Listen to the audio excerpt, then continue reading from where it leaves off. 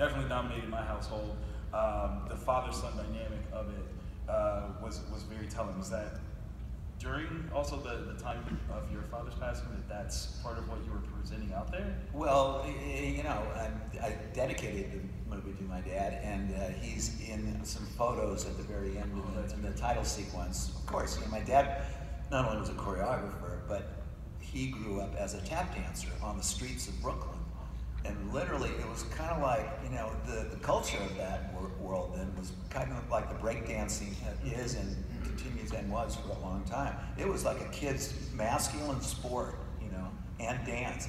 That's what my dad did for quarters, you know, uh, on the street corners of, of, uh, um, of Brooklyn and Broadway. He became a tap dancer uh, in vaudeville, and you know, he's a very important. Uh, so when I did this movie, of course, I drew from that. Oh, that's beautiful. Yeah. Absolutely beautiful. Hello.